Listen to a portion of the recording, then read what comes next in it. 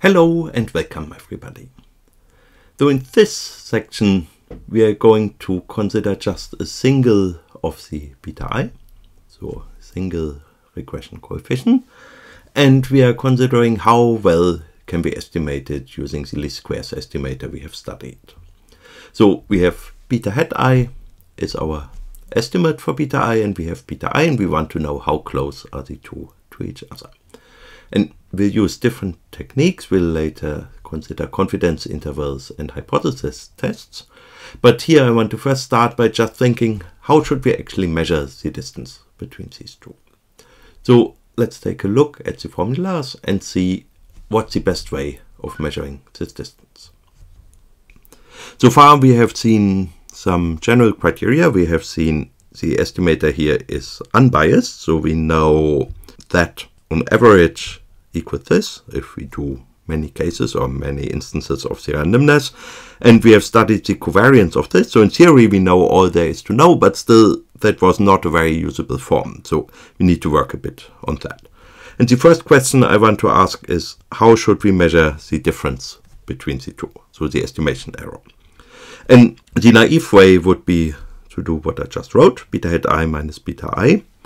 But this is not so useful in practical terms because we know what that is. We have seen beta hat i is normally distributed with mean beta i and variance sigma squared x transpose x inverse. So after I subtract beta i, we know that's normally distributed with mean 0 and the same variance sigma squared x transpose x inverse. But the problem with this is we don't know sigma squared. So this sigma squared here is unknown. And we know also what to do there. So we know sigma hat squared is 1 over n minus p minus 1 sum i from 1 to n yi minus y hat i squared is an unbiased estimator for sigma squared. So we could attempt to somehow make use of this, and that's exactly what we are going to do. Let me write an intermediate step up here. If I divide the left-hand side by sigma, then this 0 is divided by sigma, nothing happened. And that expression here, the covariance matrix, will be divided by sigma squared, because it's a variance type thing. So now I have the sigma here, and now we could try to replace that with sigma hat. So let's say sigma hat is square root of sigma hat squared. Then we could consider beta hat i minus beta i divided by sigma hat, the estimated standard deviation. And that we know better. I just noticed I made a mistake here. I will just quickly this in. So what we need here is, of course, because we are looking at a single component, we need row i, column i of this inverse matrix. So once we have fixed this now, that we can understand. That's input data in X, so we know X. X transpose X inverse we can compute. So that's much better once we've gotten rid of the unknown sigma by replacing it with sigma hat. Now the next thing I want to improve is this here we don't know the distribution of because replacing sigma with sigma hat will change the distribution. There will be more variance because we have extra variance from the denominator here.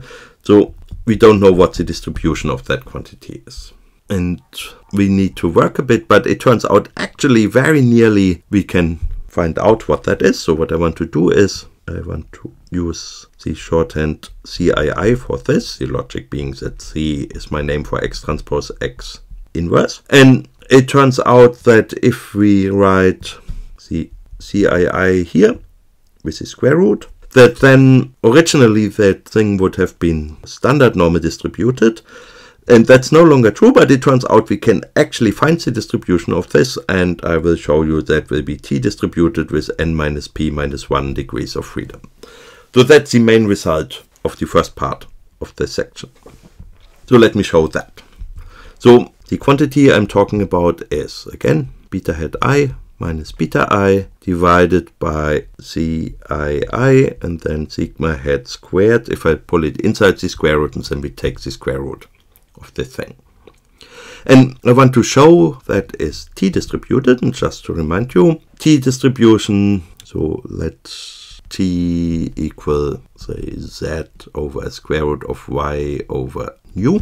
then if z is standard normal distributed, y is chi-squared distributed with nu degrees of freedom, and z and y are independent, then t is t distributed also with nu degrees of freedom.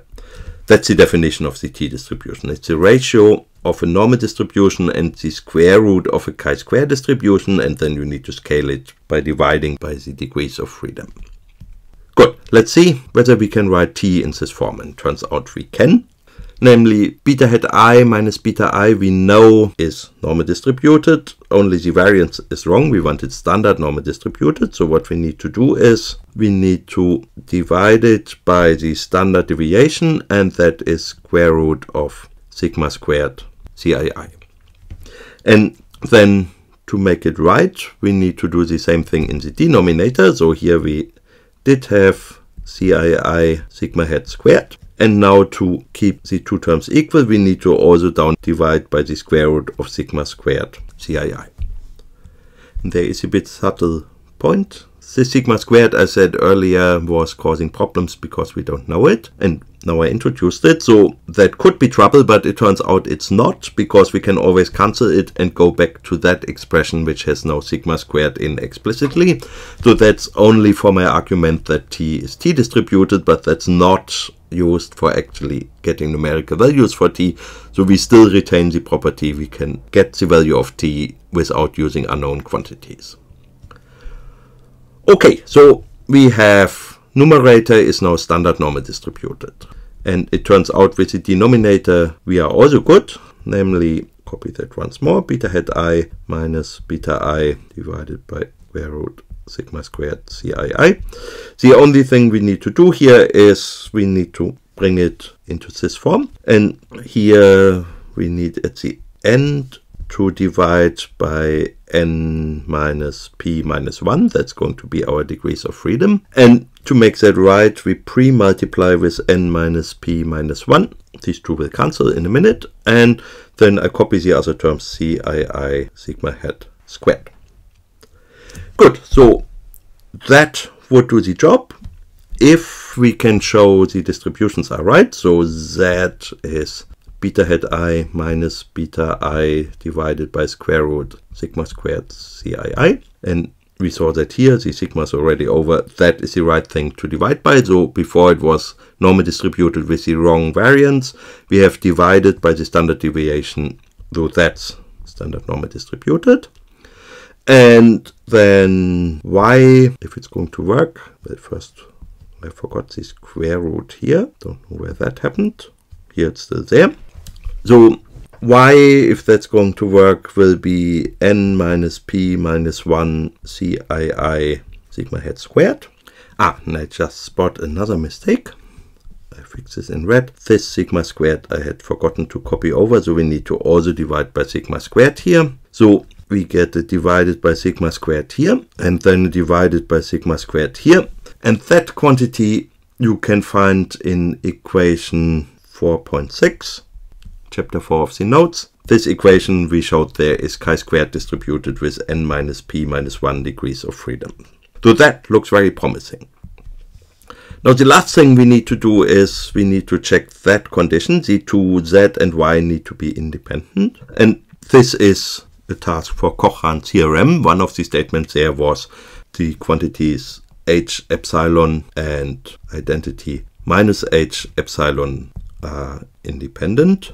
And there is then a basic result from probability if two random variables, these are both random variables, if they are independent, then also any functions of them are also independent. So I can squeeze in any function f here and any function g, and these functions, if they are deterministic, they cannot introduce dependence between the two. So that gives us a chance. And it turns out, I show this in the notes, I'm not going through this here, that one can really make it so that if you choose F cleverly, then that one here turns into what I call Z, and this one here turns into what I call Y. So using Cochran theorem and rewriting Z as a function of H epsilon and Y as a function of I minus H epsilon, one can show the two are indeed independent. So that's in the note. You should check it there, but that also works out. And then we can conclude t is t distributed with n minus p minus 1 degrees of freedom. Good. And this is excellent news. Namely, now we have something which still looks like it measures the error between the two quantities. It's the difference beta hat i minus beta i, just by straight subtraction. And then it's scaled by some constant of proportionality. Well, it's nearly constant of proportionality. It's just, here's the sigma h square, which also has the data. So that looks like a very reasonable measure for the distance. For example, if beta at i is exactly equal to the truth, that thing is zero. If beta at i is too big, t will be positive and so on. And this measure, which looks reasonable, we have now understood the distribution of, so we know if the model is true, what it's meant to do, and we will be able to know, for example, the t distribution has densities which look a bit like normal densities in the middle, it has heavier tails, so here we will be able to find cutoffs where we say values down here are very improbable, which will help us with tests, or if we look at the middle bit, will help us with confidence intervals. So that's worth a lot and will help us with all kinds of things. And the other property is this distance we can compute from data because it has the estimated variance here. Good, so that's a success.